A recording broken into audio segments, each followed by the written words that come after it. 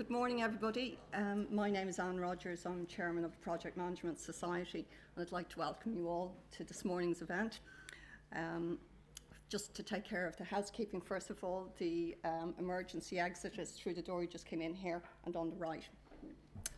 Um, so, this morning's event on lessons learned um, is sponsored by Lafferty Project Managers, and um, we would just like to say we thank them for their kind sponsorship and um, they uh, paid for breakfast, so hope you all enjoyed it. Um, basically, we welcome sponsorship here um, in for the project management event. So, if any company would be interested in sponsoring future events, please let me know. Just to let you know a little bit about the Project Management Society uh, here in Engineers Ireland, um, we run a number of events. Um, they run from September through to June, and um, if you're interested in finding getting finding out about the events or indeed in receiving notification of them, um, if you go onto your membership webpage and just tick the box for the Project Management Society, you will receive notifications. Um, so um, the other thing, just to let you know about the next event that we'll be holding here, um, will be in the evening event on the 11th of May, and um, it's a project management showcase whereby um, project management providers will be here. Um, they'll be available for you to talk to, to find out about the content of the courses they provide, and indeed the qualifications you get if you complete the course. Um, also, following that, that will take place from 6 o'clock to 7 o'clock on the 11th of May. And after that, we have uh, John McGrath of um, DIT Aungier Street, who lectures in project management. And um, he'll be providing um, a presentation on developing project management excellence. So, just to tell you a little bit now about our presenter today, um, it's um, his name is JP Hilliard, and um, I have to refer to his information. He's quite a bit of background here. Um, he's an associate director in Lafferty Project Managers with over 22 years' experience. Uh, JP is certified senior project manager, a member of Engineers Ireland, and a chartered member of the uh, Chartered Institute of Buildings. JP is a part time lecturer in Trinity College Dublin um, on the postgraduate project management diploma course since 2013 and is an active committee member in Engineers Ireland Project Management Society. JP rev- regularly presents keynote speeches at events such as the Project Management Summit, uh, the National Construction Summit, and within Engineers Ireland.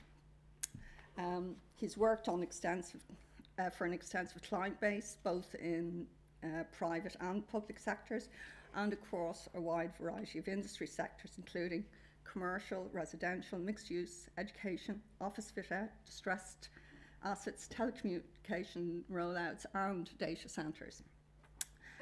Um, JP was the lead project manager and employers representative um, on many challenging blue chip projects in Ireland and the Middle East.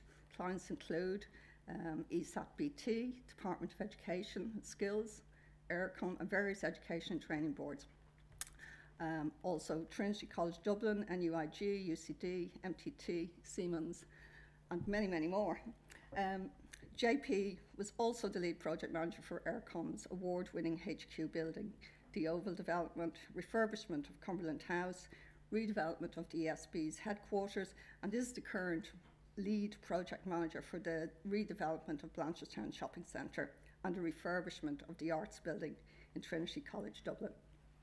And so, without further ado, I introduce you to JP Hilliard.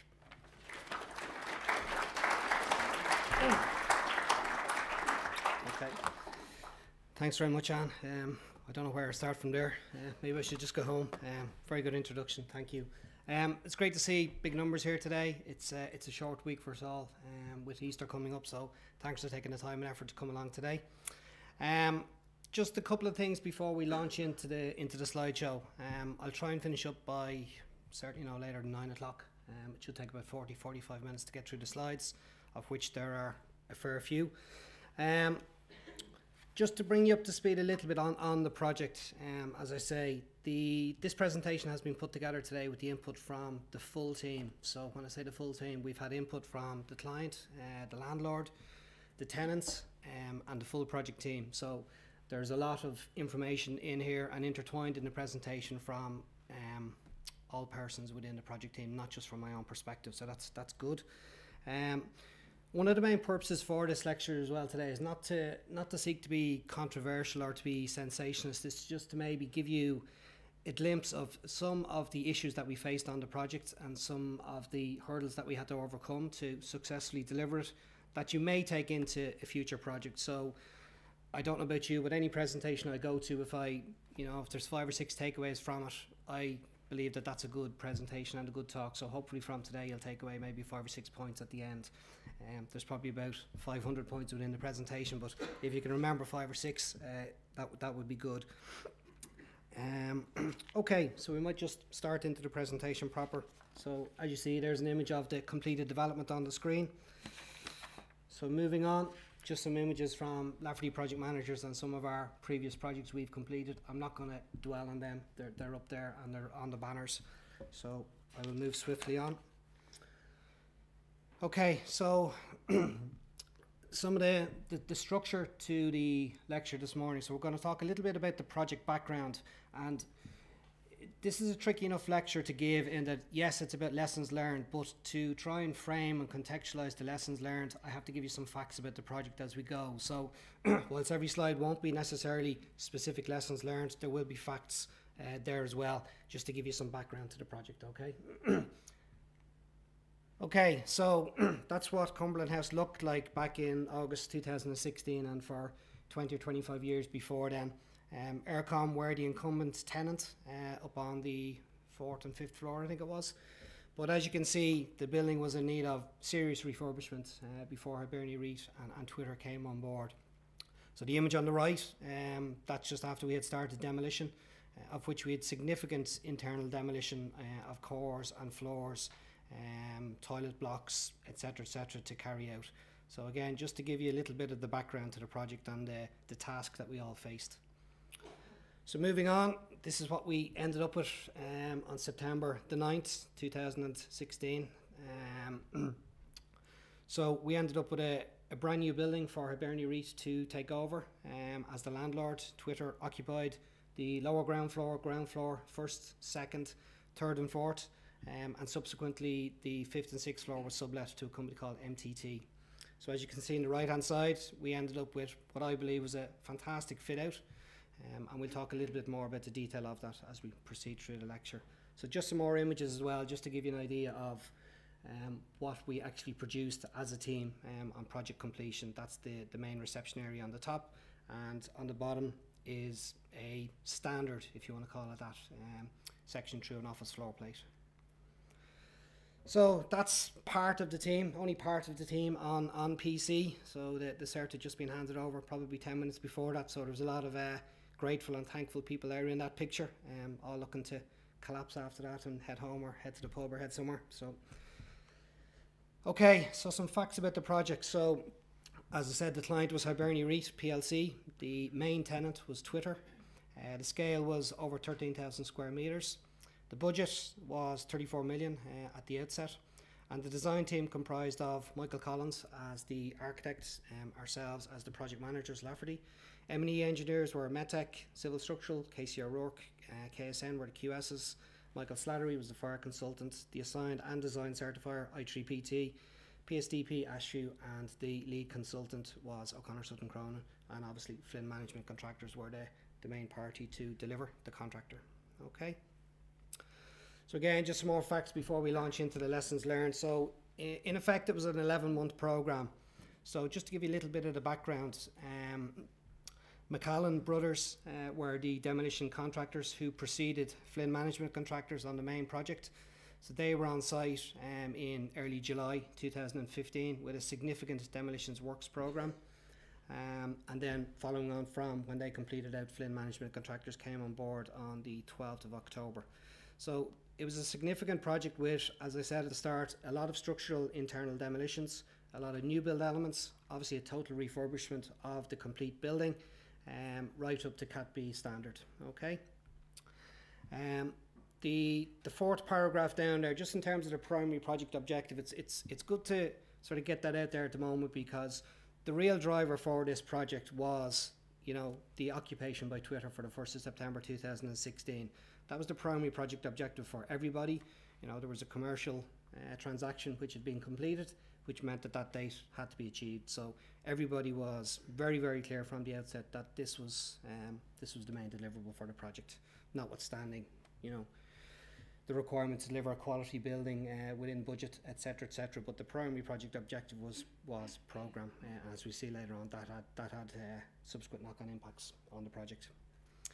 Um, I'll, I'll keep moving on. So some of the topics that I'm going to try and cover today, um, and some of them are going to have to be at a fair bit of pace because there's a lot of slides up here. Um, so the first thing that we're going to try and do is we're going to talk about the project structure, teamwork, project governance, stakeholder management, a high performance team, and then we'll start getting into the uh, maybe the meteor slides, let's call it that, on health and safety, statutory approvals, a little bit about sustainability.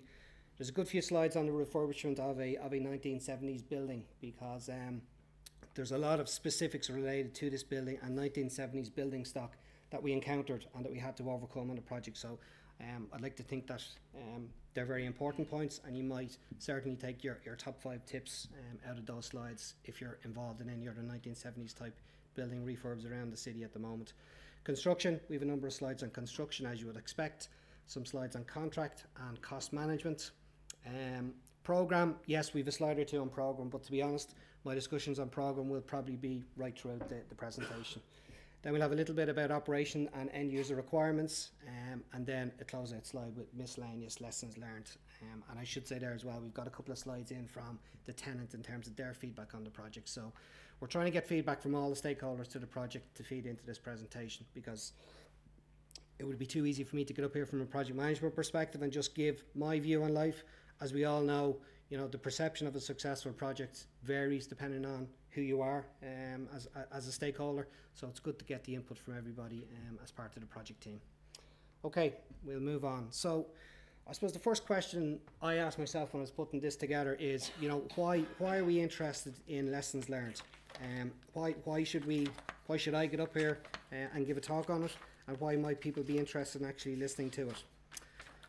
So the second question I asked was why why would we use Cumberland House as a case study? Well, I suppose first and foremost, uh, in my view, and probably in the view I think of the project team, it was a significant, a very significant project achievement.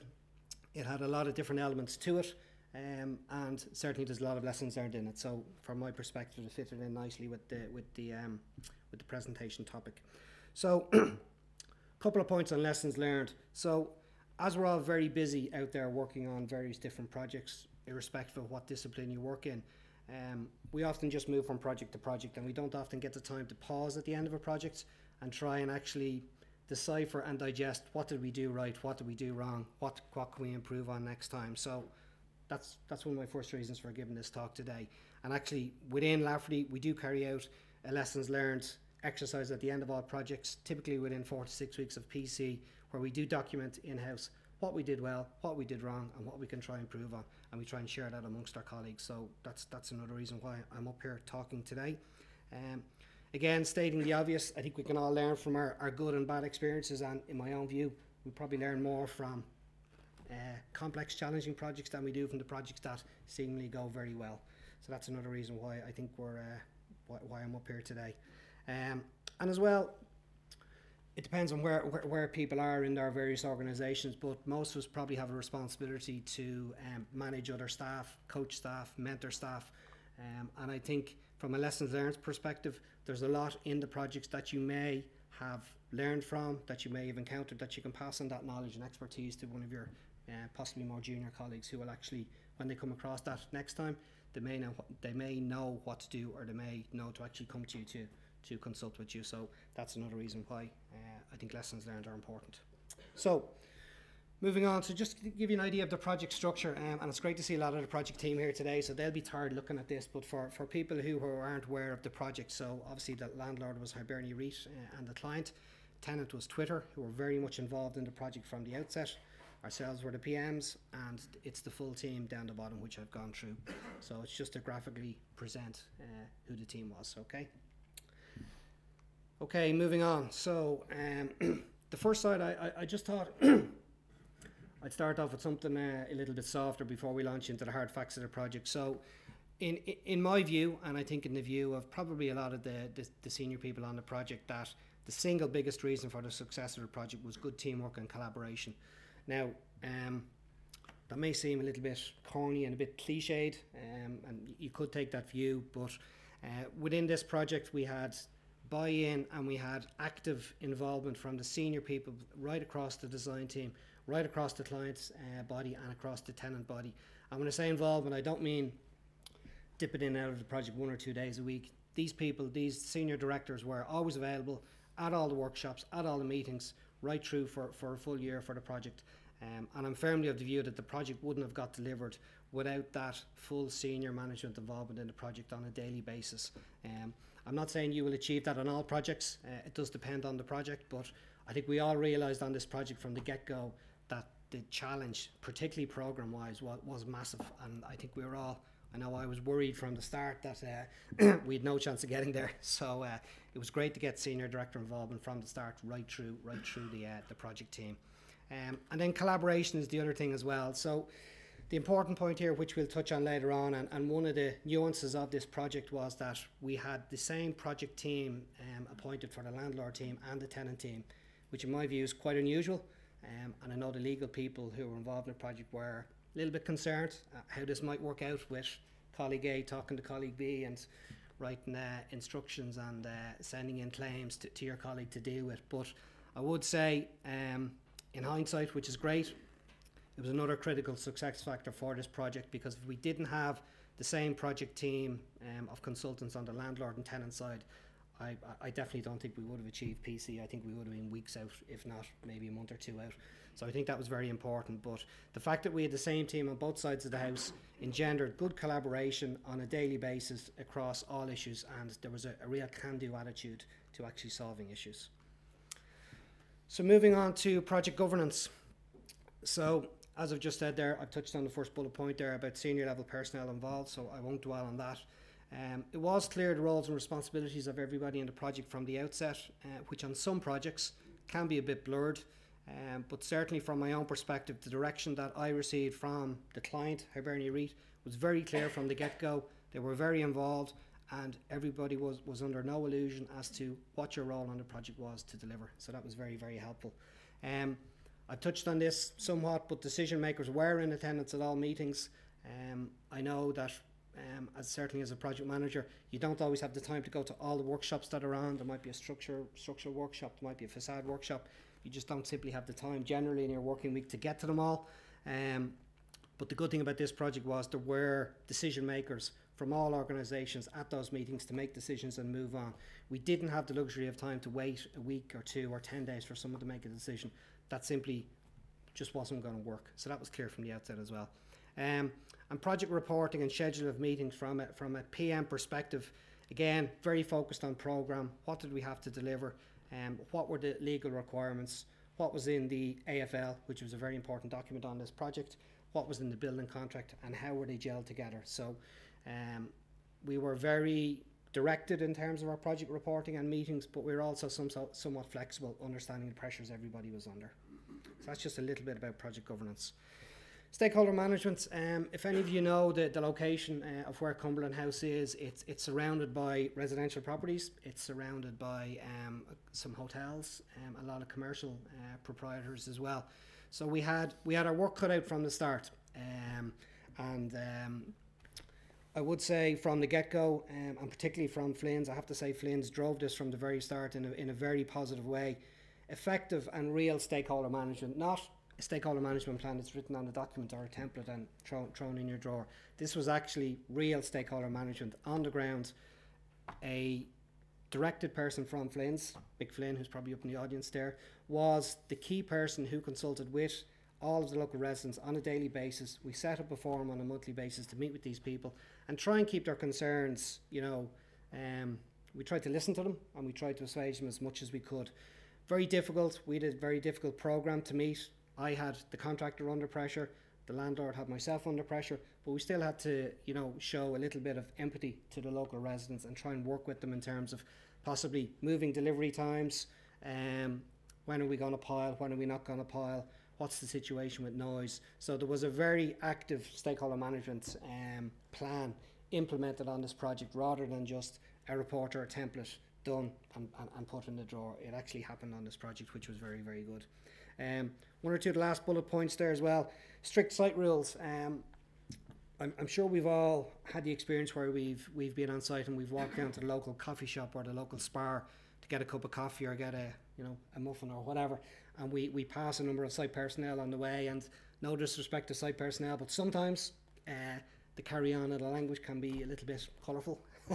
um, but I would say on this project from the get go, there were strict site rules for all people on site and people leaving site to go to the local shops because it just wasn't appropriate um, to be conversing in the way that sometimes, I wouldn't say all people, but sometimes carry on on site can carry on down to the local shops.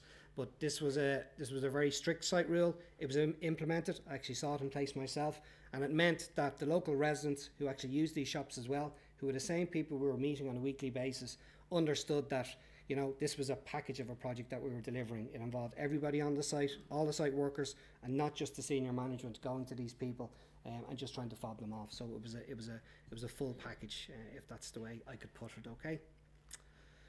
So a high performance team.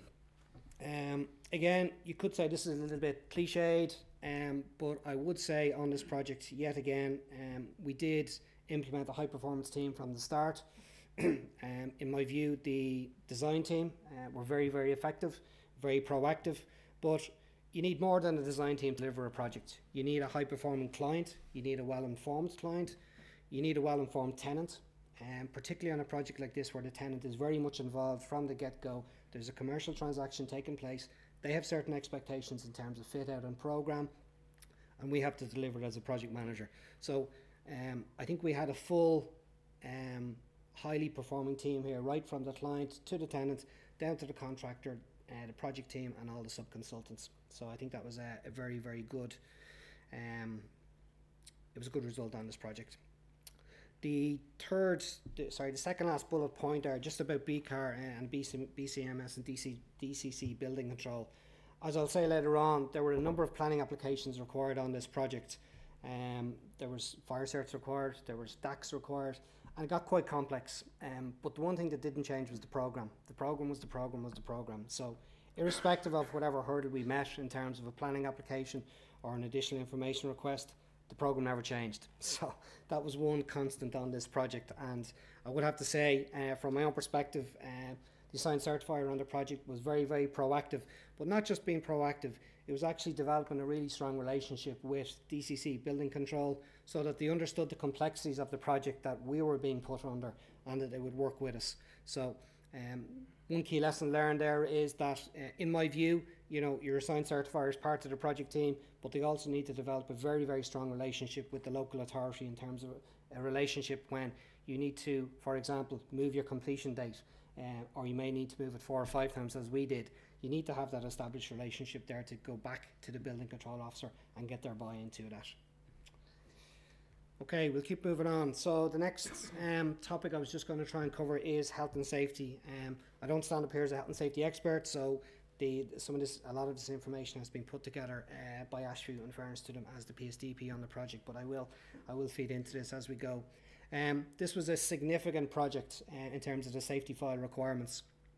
I think from memory we had possibly about 4,700 uh, pages uh, within the safety file uh, that we ended up with from a landlord and tenant perspective, and the file had to be split then as well uh, in terms of access requirements. Um, we did require multiple workshops, probably in the last, um, probably last eight weeks or so of the project to try and pull together the safety file, but to also manage people's expectations in terms of what will be in the safety file, um, what should be in a safety file, and what are nice to haves. Okay. Um, so we did have to, I wouldn't say educate, but we did have to inform the client and the tenant as to what we could deliver within the timescale and what we could deliver in terms of nice to haves, um, which weren't a statutory requirement for the safety file after PC. Um, the workers' health on the project w- was very key, as you can imagine, this program was so aggressive that there were multiple activities going on and multiple trades constantly, um, which increases the risk of something happening on site, irrespective of all your strict controls and your measures.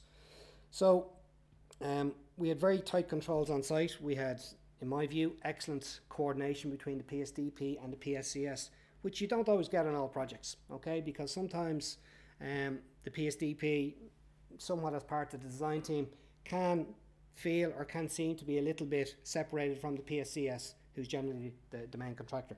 But in this instance, there was a much more, let's say, a blending um, of the roles and responsibilities.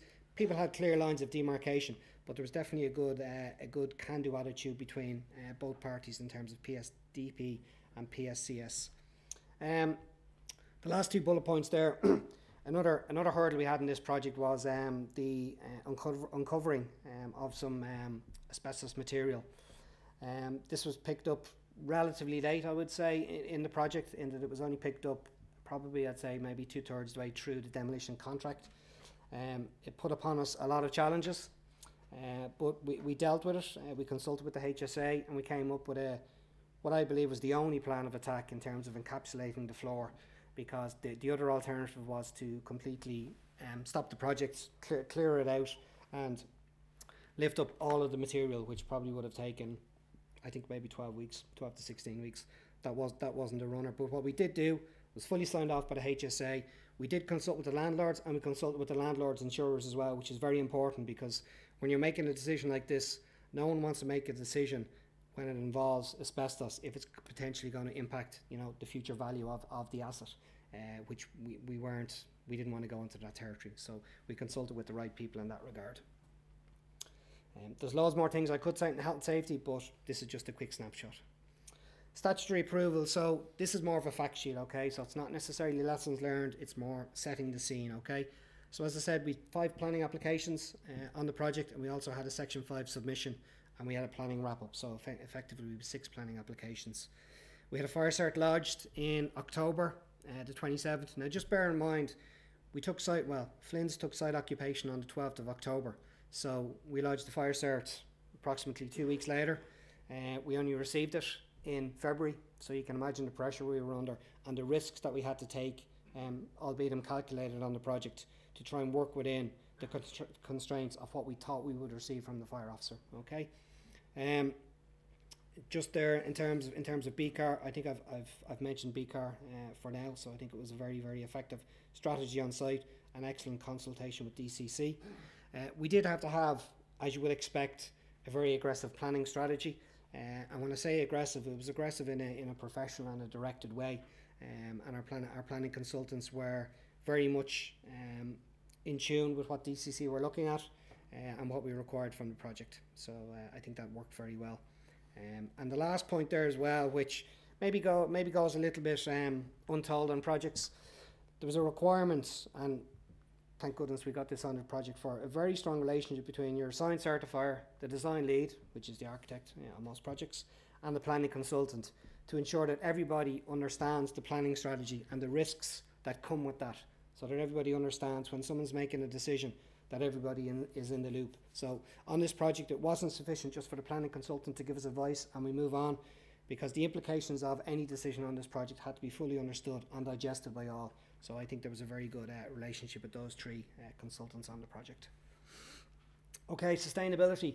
We did start out this project um, seeking LEED gold, uh, and that's what was in the AFL from my memory. Um, but as the design progressed, um, 1970s building stock does give you a lot of opportunities to try and seek a very sustainable building in terms of the reuse of materials.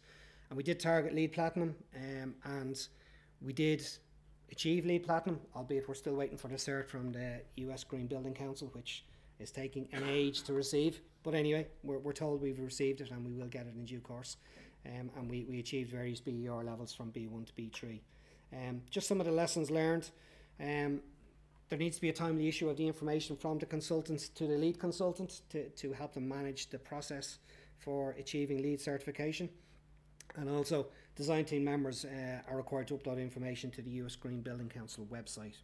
Um, at construction stage, you obviously need regular information from your contractor and your subcontractor issued to your lead consultants um, on a regular basis so that we can keep the program because there's various there's various milestones and touch points to achieve LEED certification as you go through the project. So you don't just gather all the information and send it all in prior to PC there's there's uh, there's sign-offs required at design stage and I think there's two or three sign-offs required at construction stage. So uh, it's not it's not sufficient to gather the information at the end and you need a lot of photographic evidence as you go through the process from the start as well.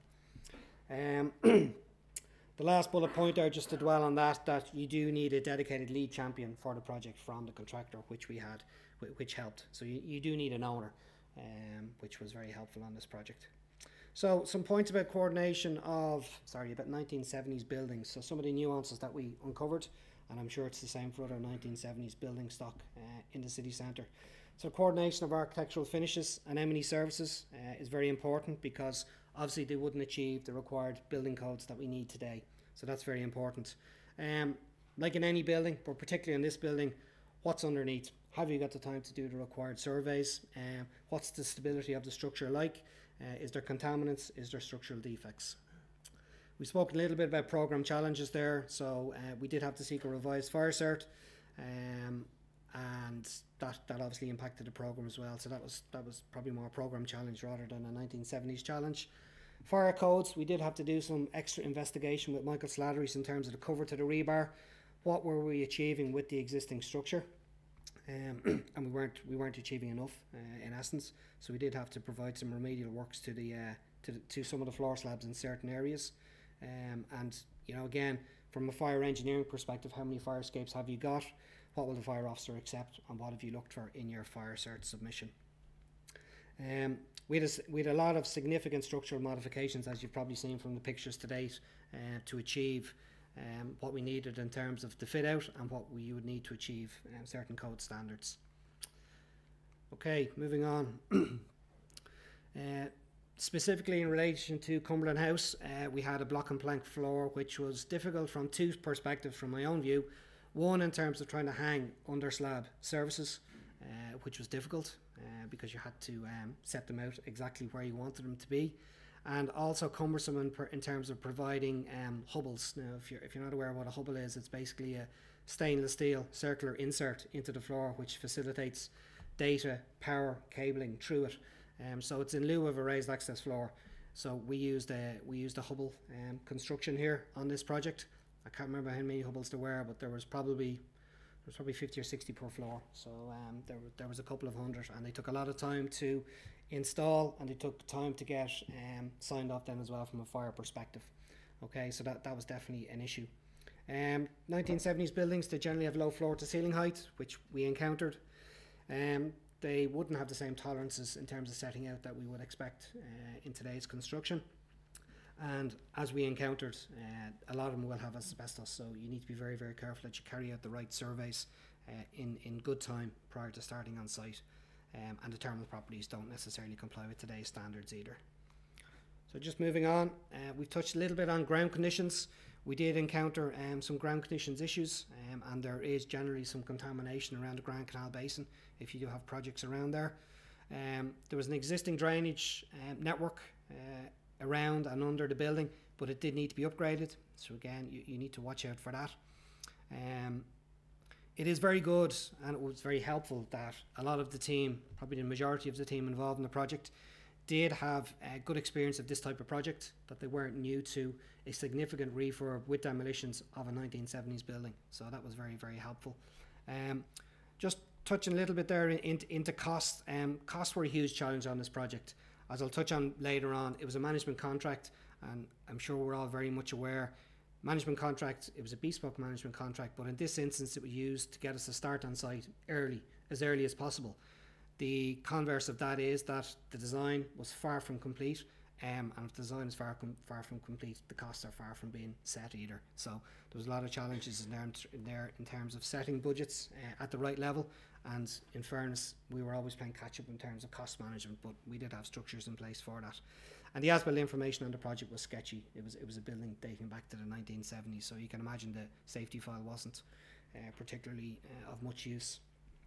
Um, these type of buildings, they often have a short program, a short program, and an aggressive program to get from detail design um, into construction. And in this project, we had very little time um, for meaningful and, and real coordination. Uh, I think we did a very good job, but we were always under pressure in terms of design coordination and getting the right information to the contractor at the right time. Okay. Um, as a as a consequence of that, we had to work out a lot of alternatives and a lot of compromises along the way. Okay. Um, I would say to try and minimise um, from a design perspective and a construction perspective, you need to try and minimise the amount of buried services that you're proposing for the project, unless you have the luxury of time to do significant surveys prior to occupation and, and uh, possession of the site, which we didn't have in this instance. Cumberland House is a piled structure, and uh, I'm sure our engineers who are out there will, will remember uh, many a long and a late day trying to work out solutions uh, with piled foundations and trying to work around them and get uh, uh, lift shaft and lift cores um, constructed and designed in around existing piled foundations. It was a, it was a real headache. We've touched on BCAR and we've touched on the fire cert as well, which needs meticulous management and a really good relationship with the fire officer, which I think we would all say is the same on all projects. Utilities, with a lot of challenges on utilities. Uh, again, the programme, we thought we were in a good position on utilities because we really started the process probably in January, February 2016, eight to nine months out from PC. We lodged early applications, or what we thought were early applications, with Gas Networks Ireland, and then after that with ESB, um, and then with Eir from a, a phone and a fibre perspective. We did encounter issues with Gas Networks Ireland. Um, we, as we said there on the third bullet point, we paid the quote in February 2016. We achieved gas on on the 15th of August. Now remember, PC, which I should have said at the start, was the 1st of September. So you can imagine a project of this size, 13,000 square metres, um, over 450 workers on site, and we achieved gas on with two weeks to go. So you can you can work out the issues that we had with that. So we we had serious challenges, and we two we didn't have one gas supply to site. We two gas supplies to site, one for the landlord and one for the tenant, which is primarily serving the tenant kitchen. Okay. ESB, uh, we we managed well. We, we, we had a slightly better success on that. We were only one month late in terms of achieving power on, uh, which we all dealt with quite well, and contractor managed that very well. So um, that was a I wouldn't say it was a win, but it was probably a win in the context of this project and the program pressures. Um, Eir and telephone lines and broadband uh, is is another is another issue altogether. We, we encountered serious delays in that regard. Uh, we had to deploy a GSM line to commission the lifts, as we've probably all done previously. But um, we encountered serious delays, uh, suffice to say, in trying to secure phone lines into the site. One of the issues there, um, in relation to gas and, and Eir, these two bodies they, they, they seem to change their process midway through our project unfortunately in terms of securing ESB supervision on site um, they didn't inform us of that change and there was a further delay in trying to get drawings from service providers who we required on site to supervise works by others. Okay, so that was uh, that was an issue that we had to encounter. Um, and the overall mitigation there, just early workshops. We thought we had it correct in February, but um, I suppose if we didn't start then, we, we probably wouldn't have achieved PC either. Few notes just on contract. So as I said, it was a management contract. Um, I believe it was probably the only contract form we could have used to get a start on site as quickly as we were required. You don't get cost certainty, as we all know, with a management contract. Um, there was very limited detailed information at tender stage as we entered into a management contract with Flynn Management and Contractors. Um, and the other, the, the, the, second last bullet point there, just in terms of an AFL, uh, we had a, a, detailed AFL on this project which um, was being developed and signed, let's say, um, in parallel with the building contract. And there was similar and different requirements in both documents. So the lesson learned there is that as a project team, you need to fully understand, read, uh, and digest the requirements of the AFL and the building contract. Um, certainly in terms of any gaps that you see in them and what your what your responsibilities are to deliver on that. So it's very very important. Okay, um, and collateral warranties. Just a small note there at the end. Uh, we did encounter an issue where uh, the tenant's name, I think it was the name, was uh, very slightly wrong on the collateral warranties um, after they'd all been sent out and, and signed. So that's a lesson learned. Just double check and maybe triple check the address and the name of, of collateral warranty details uh, before they go out. Okay, I won't dwell too much on this, there's a lot of information here on this slide. Suffice to say, we've 18 um, order of magnitude cost exercises by KSN. So you can probably understand then the challenges that they were under under to try and get cost certainty, um, if such thing is possible uh, on on, uh, on a management contract.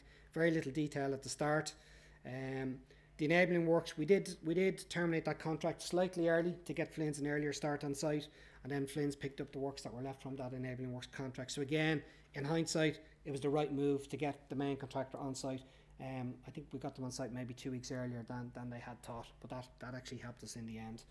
Um, the third last bullet point there, just the quantum of works. We had over 70 works packages uh, being designed and procured concurrently, which will give you an idea of the scale of the task that KSN and Flynn's and the team faced. Okay. Just moving on. Um, the second bullet point there, maybe just to dwell on that for a little minute. Uh, the majority of works were completed from January to September 17. Um, let's just say September 16. We're ahead of ourselves. So January to September 16. Uh, so we had monthly valuations of up to 5 million uh, plus, which is, in my view, very, very significant. Certainly for a, re- for, for a refurb project with certain new build elements.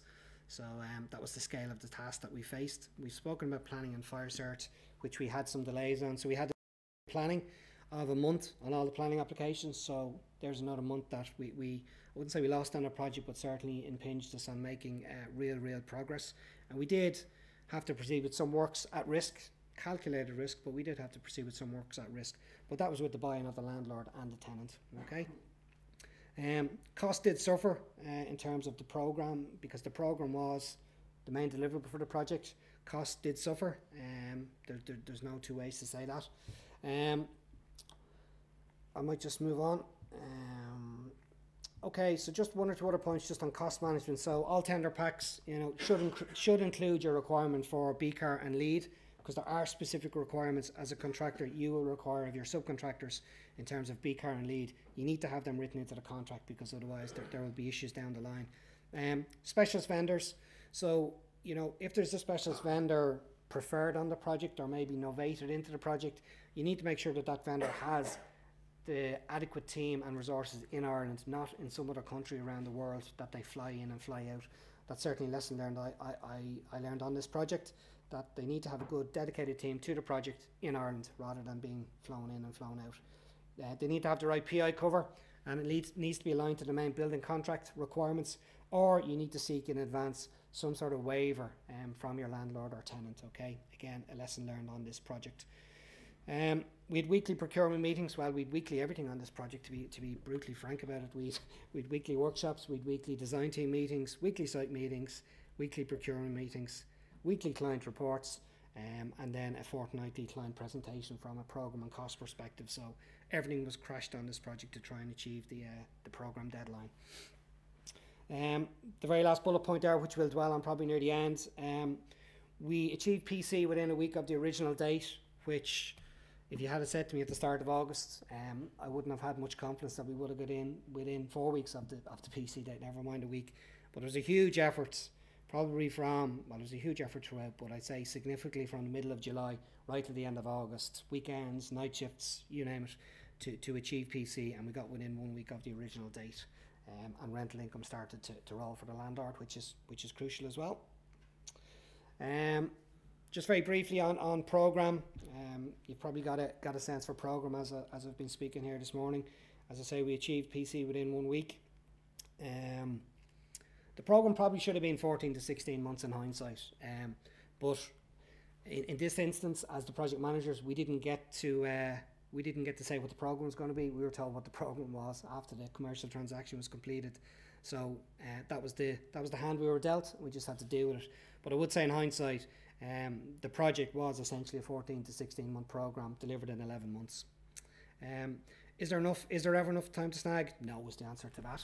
Um, the project was significantly snagged out uh, at PC, I would say, but for, for such a big building with um, with uh, a building that was managed as well by the landlord. So Hibernia REIT are actually managing this building. I think it's the first building that they're actually delivering and managing themselves.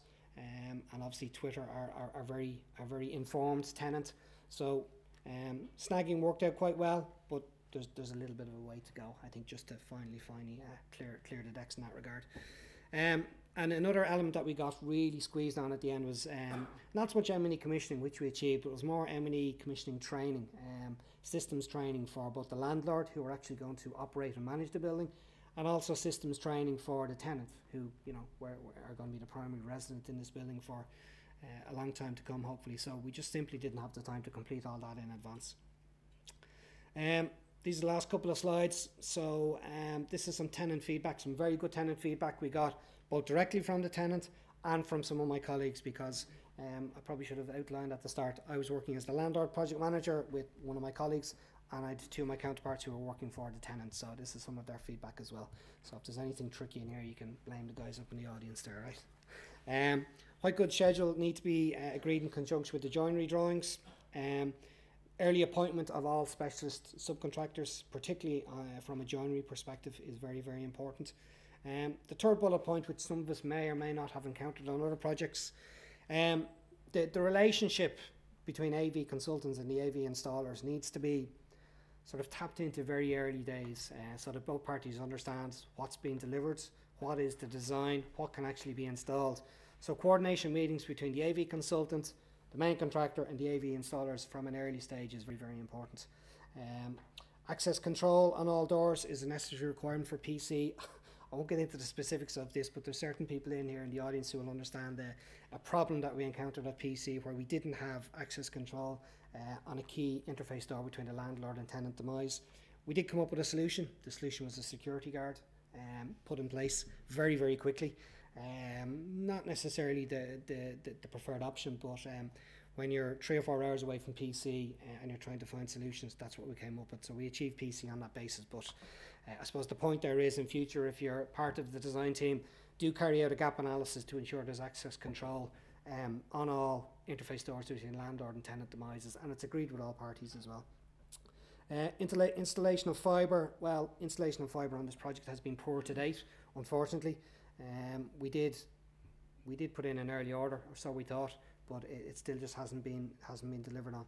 Um, this project had additional security measures, so we did have bomb-proof bomb-proof glass, which is a film we we placed over the glass at the front. We had bollards in front of the uh, steps to the front reception area as well. That was a function of of Twitter's um, sort of requirements worldwide from a from a terrorist threat perspective, which you know Dublin is not uh, does, doesn't uh, doesn't get away from that either. Okay. Uh, landlord stairs should be locked off when complete to prevent damage in the run to the PC. I think that's probably a, an obvious point. Um, and then the last bullet point uh, sufficient time from power onto floors to be allowed for AV installation. Um, AV, as we all know, is one of the last special subcontractors who comes in um, and, and, they do get squeezed for time. So you do need to allow some time there for power on uh, to, to all the various um, floors for AV installation. Um, external lighting for terraces to be agreed with tenant as early as possible. Uh, I won't dwell on that. Second bullet point, which we probably all encounter most projects, is the early handover of comms rooms. Uh, very, very important. we achieved it quite well on this project, and I think we achieved it about six weeks out from PC.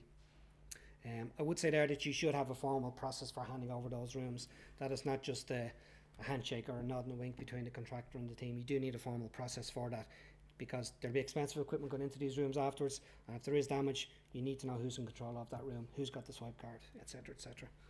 Um, I've touched on the access control there earlier. Um, and another point that we obviously on a multi-let building, which this is, so Twitter is the primary tenant, but we do have MTT on the upper floors. Um, it is very important to agree a process and a protocol at the outset for any subsequent fit outs to these buildings. So you need to agree the ground rules for you know a fit out contractor coming in after the fact to fit out uh, what was essentially two floors above Twitter, so that people's expectations and understanding of the works involved uh, are clear from the from the get go.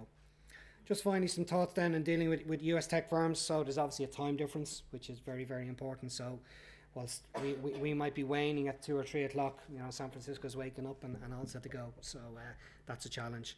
Um, they don't necessarily like big, long project management reports, which we're, we're great at writing. They prefer, you know, quick updates, um, shared folders, and video conference meetings.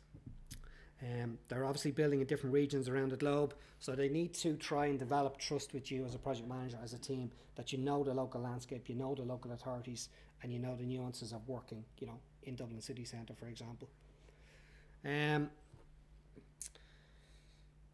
yeah, so Shell and Core, I'll just touch on some of these points. So Shell and Core Design should make full provision for a full cooking kitchen unless you're directed otherwise by your, by your, by your client. So that means risers, drainage and our soft spots to be placed in the structure. Um, in some instances, we didn't have it on this project because we had an open basement. You should consider maybe a dedicated lift for bicycles to the basement um, and an automated secure door to the bicycle lock. Okay. Um, heavy duty wall protection on back of house corridors, which tend to get a lot of a lot of traffic and a lot of incidental damage. Um, FDI type clients, which we have a lot of, which is great, but they do have um, staff who are very keen to uh, walk to work or cycle. They generally live in around the city centre if they can find somewhere to live. Um, so you need to try and understand that and design in mind with that. Um, glare from roof lights needs to be considered as well. Uh, diverse routes for fibre is obvi- obviously very critical depending on who you have coming in in terms of a tenant. Storage of grease uh, is very important.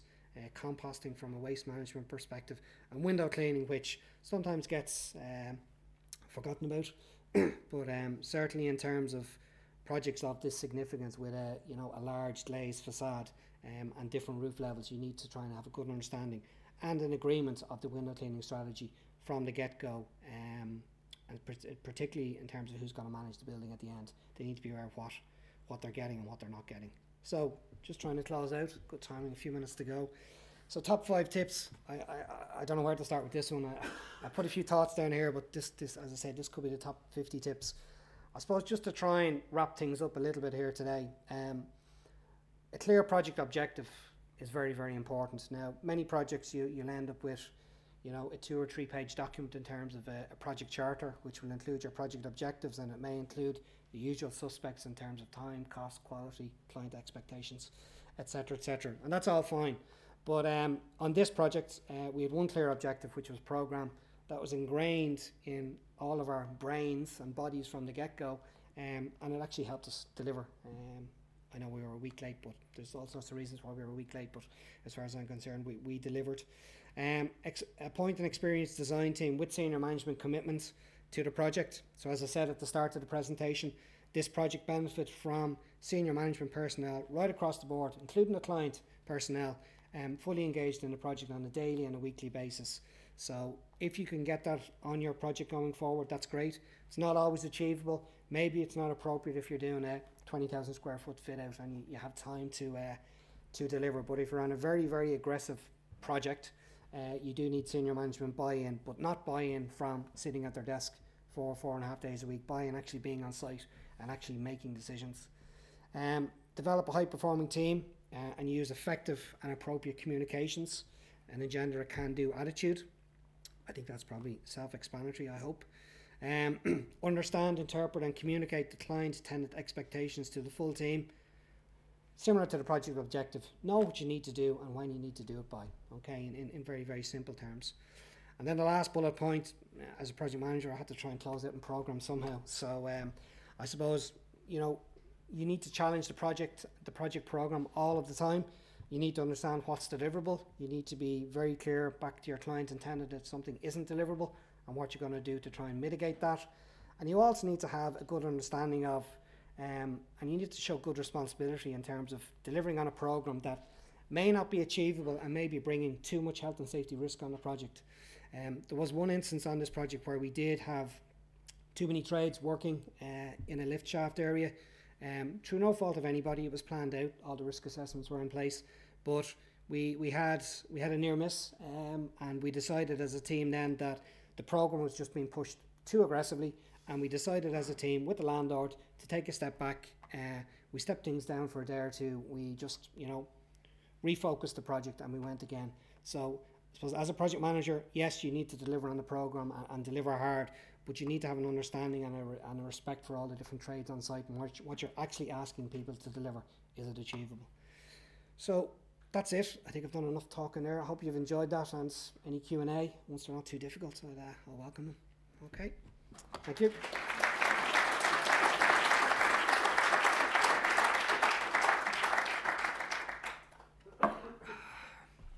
None, that's great. I'll go back to work. David. Two questions. One, if another project similar to that came up in the near future, what one thing would you address differently?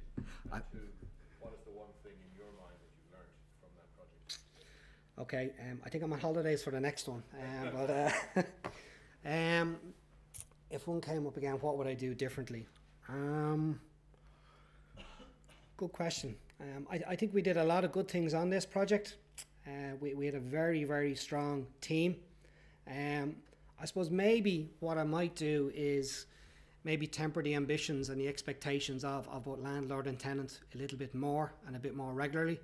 Um, I'm not saying that we didn't keep the tenant and the landlord informed, but maybe we could have just tempered our ambitions in terms of yes, we can deliver on program, but there is trade-offs, uh, significant trade-offs in terms of potentially longer to snag out.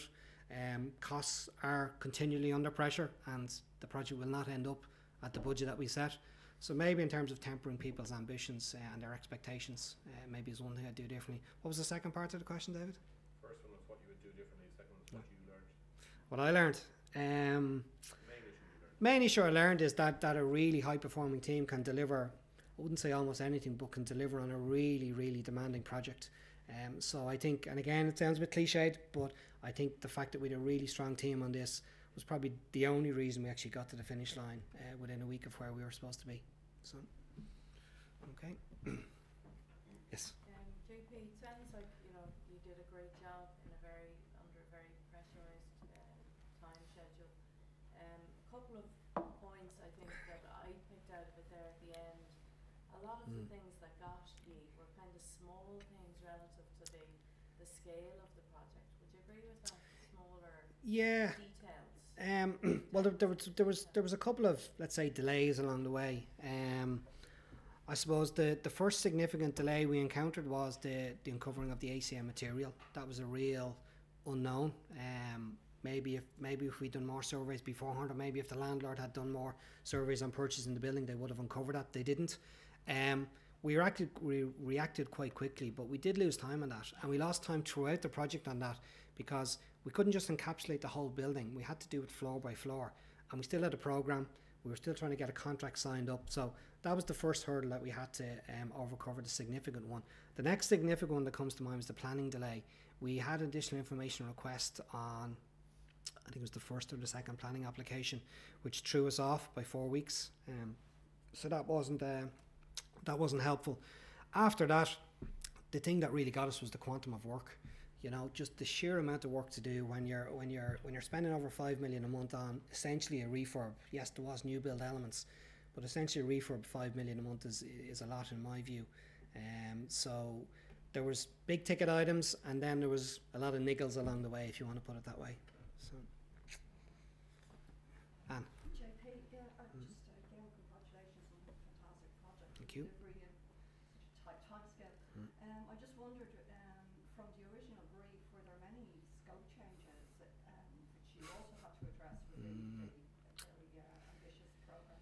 Um, there wasn't really, in, in essence, and you know, the, the project was quite clear from the outset, um, and the AFL was very clear in what it demanded us, of us and what Twitter were looking for. So, um, we were quite clear in terms of the minimum that we had to deliver, um, and the preferred solution. So there was there was intricacies in the AFL in terms of the minimum amount of floor area we had to deliver, um, if we couldn't deliver on the full project.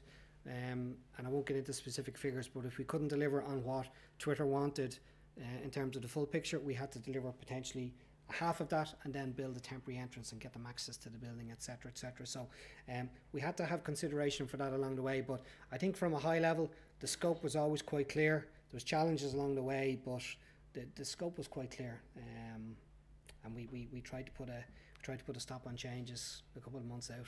So okay, Yes. thank. Really good presentation. thank you. Very, very good, thank you.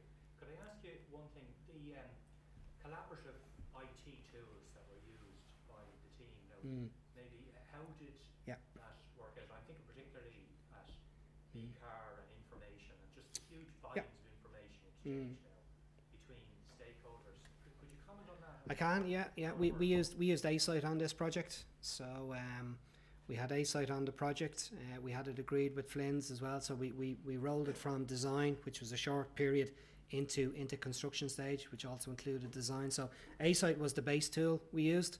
Uh, and then obviously when i3PT came on board, they had their Search Central system, uh, which worked very well.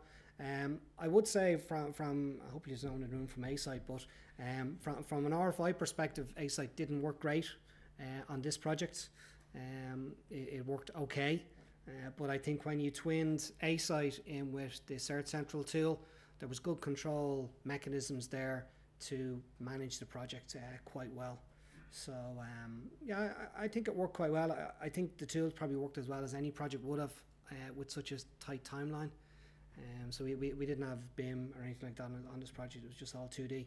Um, but I, th- I think Asite, while it's been critical there in terms of RFIs, it was probably as good as any tool for this project. But things are developing quite well. I think in, in you know in terms of common data environments um, and I3PT tools.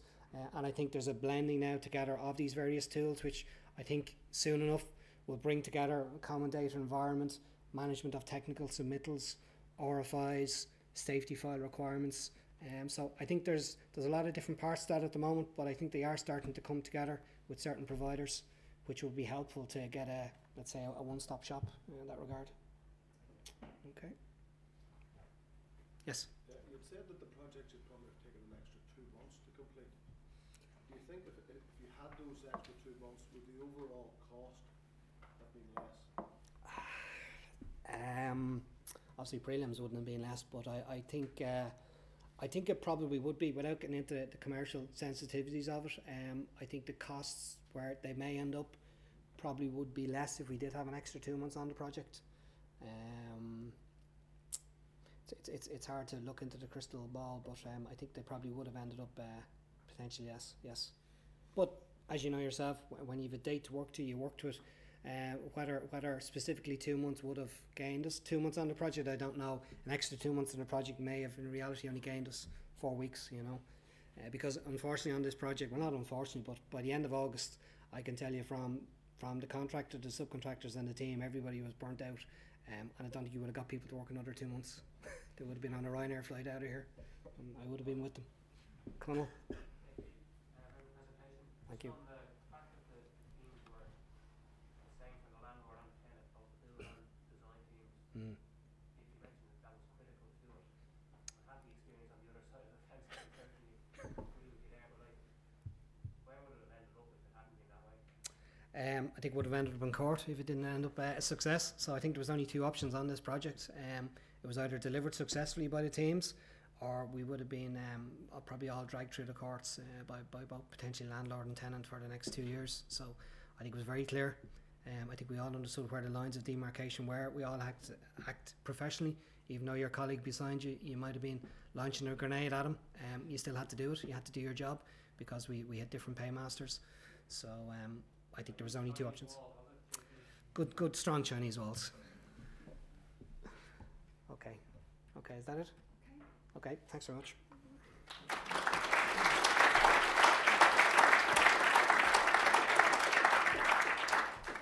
Okay, just want to thank JP for a very, very interesting um, presentation. Um, thank you all for coming along this morning, and uh, hopefully we'll see you all uh, soon. Thank you.